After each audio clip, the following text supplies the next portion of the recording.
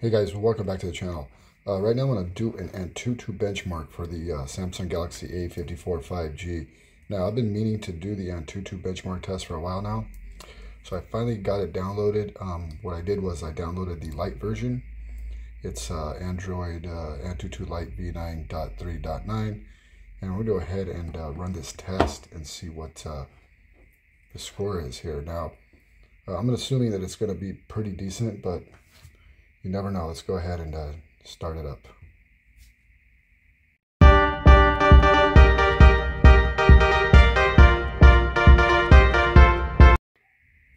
All right, guys, so here's the score, 473,729. Now, what does this mean? Well, if you were to compare a flagship from, let's say, last year, uh, I'm going to go ahead and grab one right now. I'm going to grab the Z Flip 4. Okay, now we're going to compare the scores here. Now you can see the Z Flip 4 here it has a score of 906,515.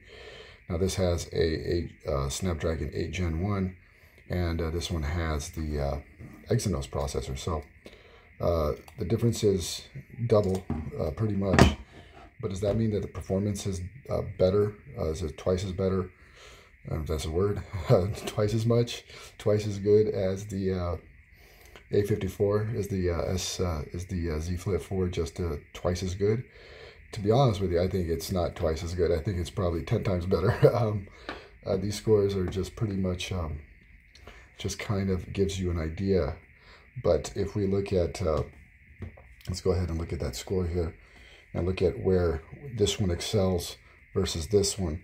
So this one excels in um, CPU performance, excels in um, memory uh, excels in uh, GPU. GPU is hands down much better here.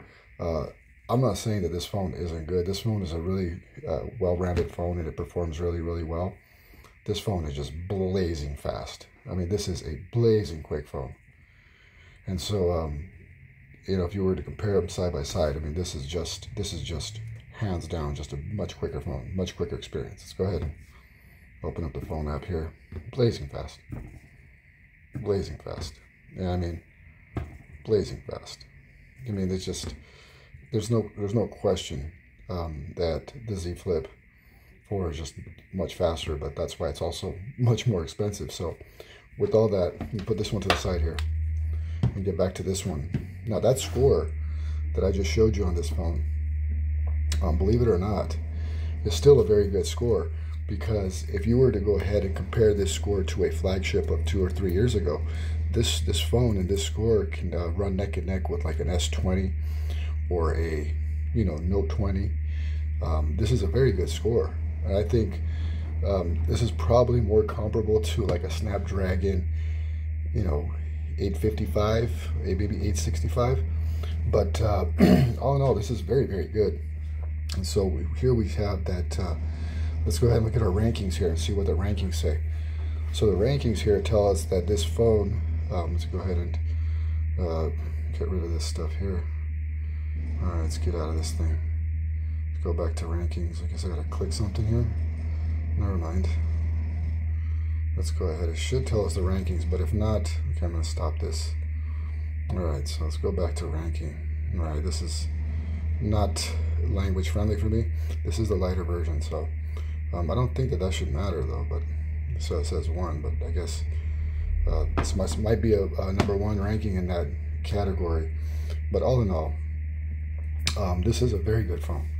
This is a very good phone. You can pick this phone up right now. I think on Cricket, I mean, or Metro by T-Mobile. I think it was like 19.99 if you poured in a number. So yeah, is this is the Z Flip 4 better? Of course it is, but it's also a thousand dollars, and there's no trade-in deals on this phone until the Z Flip 5 comes out, and you would have to go through Samsung. So, believe it or not, this is still a very good phone, a very good score.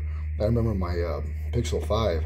I think that I think the score on that phone was only like 350,000, and it had a Snapdragon 765. So, um, all in all, it's a very good phone, and uh, the Antutu is more than decent. Um, like I said, if you have S9 or S9 Plus, Note 9. Um, even a Note 10, this phone can bang with those phones. Um, of course, the you know the newer models are going to be newer flagships are just going to you know smoke this, but at the same time, it doesn't really matter.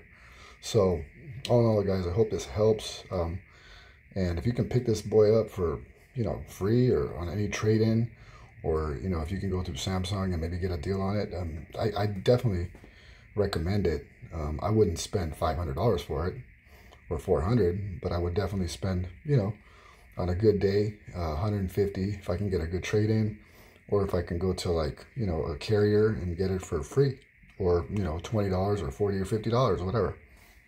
It's a great choice, guys. So hope this helps. Hope you guys like the video. If you enjoy your content, please don't forget to subscribe down below. And until next time, stay blessed.